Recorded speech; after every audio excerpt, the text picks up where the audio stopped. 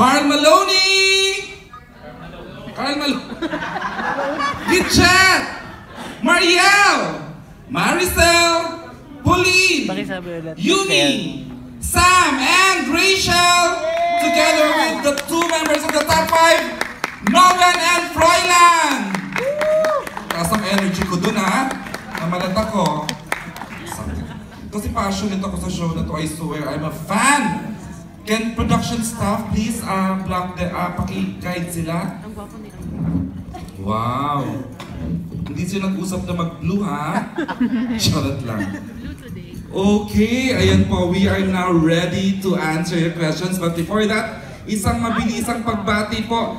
Uh, 10 grand finalists, these are the members of the press, the entertainment press, the entertainment bloggers, and the rest of the online community, and entertainment online community na sinusuportahan kayo. And please, thank them all for coming today. Gidget, please. Ang ganda ni Gidget. Opo. Magandang hapon, hapon na po ba? Magandang hapon po sa, sa inyong lahat. Maraming maraming salamat po sa pag-imbita po sa aming mga grand finalists dito po sa Dolphin Theater.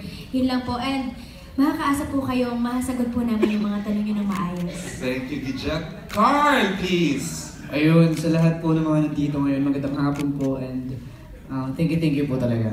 It's my pleasure to be here. Thank you, Carl. Maria, please. Hello po, magandang hapon po sa ating lahat. Ah, yun nga po yung sinabi po nila. We're very pleasured uh, to be invited by uh, the press po. Maraming salamat po for having us. And yun po, we're so happy. Thank you, Mariel. And of course, Marisol. Magandang magandang hapon po sa inyong lahat. Thank you very much for spending your time here at napili niyo po kaming interviewing kami mga grand finalists. Of course, we're so excited sa inyong lahat. And of course, Pauline, please. And magandang hapon po sa inyong lahat. Ah, maraming salamat po sa pag-invite po sa amin. Thank you. And of course, Yumi. And good afternoon po sa kanilang lahat. Uh, salamat po for being here and uh, for inviting us to your conference. And uh, welcome po na magtanong po kayo sa amin. At tatry po namin sagutin lahat po ng questions niyo. Nice. Thank you. And of course, Sam. Good afternoon, Tito DJ, and good afternoon, afternoon po sa lahat. Sorry, kinakabahan talaga ako kasi I can imagine. Uh-huh. so yun po, maraming salamat po. Uh, it's an honor to be here. Thank you, Sam. And of course, Rachel. Hello po, ayun po, nagpapasalamat po ako sa pag-invite niyo po sa amin dito. And I hope sana po masagot po namin yung mga katanungan po. Maraming salamat po.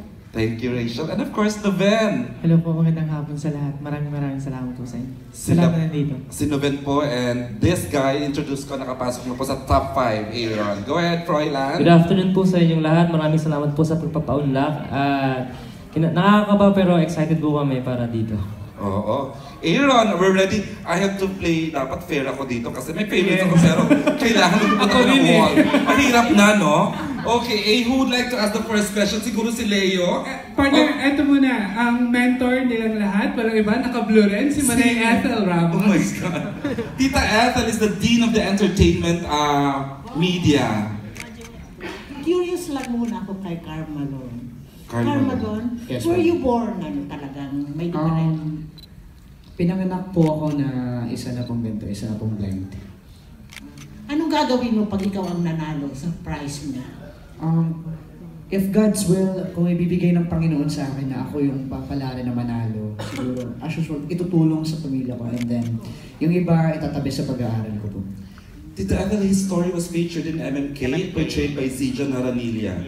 Baka hindi ko napanood yun. Nasaan ka nun? Nung gumigimik ka nung time na yun, Sabado kasi yun eh. Baka may, Charing lang. baka may press ko. Why? Gabing-gabi, press con? Sabado?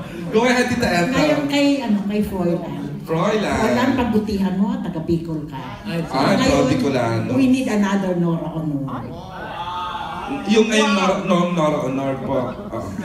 Okay, go ahead, Froilan. Gusto kong malaman, ah, ano ang magipa, palagay mo, ano ang winning, ano mo? Winning ano po?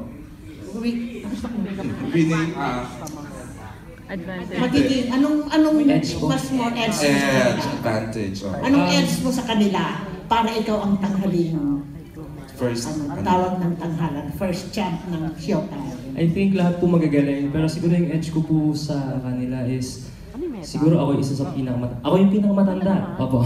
So ako yung pinaka-experienced Ah, pero, um, bukod po doon, shit. Ilang taon ka? 62 ka na ba, Froyna? Hindi po, hindi. Charing lang. Kala ko pinakamatanda siya. Ano po? Yung totoo. Yung ina-announce mo. 33 po. 33 kita Ethel. Kasi nagsisinungaling po ako sa kanila eh. Tungkol sa age ko eh. So ngayon, good. okay na, sige. Okay. Okay na po. At 33 tita Ethel. Taga, taga hindi ba ka Camarines Sur ka? Opo, taga O kababayan siya ni, ano, ni Lenny Robredo. Saan sa Camarines Store, Froyna? Taga Bato po. Bato, Camarines Sur. Ah. Okay. Ngayon ang magtatanong si An Ambet Nabos, taga Bicol din. Ano, puro taga Bicol na lang? Ano? Charet. Mamaya na lang ako. Ano to? Conditioning? Ano, ano, ano? Charet. Wala namang... Ah, wala. Si Leo, bu- si Dominic kanina pa to excited. 12 noon pa lang, andito na si Dominic dahil excited siya sa press con. Dominic, question ko sa kanila. Parang hindi ako na ngayon. Hindi kay Gidget na lang. Gidget, ano sa palagay mo yung edge mo? Sa mga... Sana tinanong ko na rin lang sa kanya. sa kanila na mga kalaban mo ngayon? At ano yung ah, inaasahan mo mangyari sa finals? Ah, Gidget, anong, anong edge mo over your, over the nine, um, medyo nahirapan po. um, Siyempre po, kanya... narinig mo na, nakita mo na silang lahat, Yes di po, ba? kanya-kanya po kami talaga ng ano style sa pagkanta. Pero po kasi ako kapag kumanta po ako, gusto ko po talaga parang pabulong lang, yung gano'n yung sa puso. Siguro po, yun po yung, siguro lang po, siguro po yun yung edge ko. Tapos po, Your yung, edge is your style Yes. of singing. kasi po, Oo. magkakaiba po kami. So, Magkakaiba sa akin po, yun po yung edge ko. Um, yung ina-expect ko po ngayong darating na finals, siguro po ma- matindi po yung magiging labanan talaga. Kasi talagang, ang gagaling, ang gagaling po naming lahat. Wala po talagang tapon, yun po. Okay, naiintindihan ko naman. Okay na, Dom? Eh, may question dito bago ka dyan, Yes, ba? May question si Tito Leo. O, wag kang magkwento ng favorite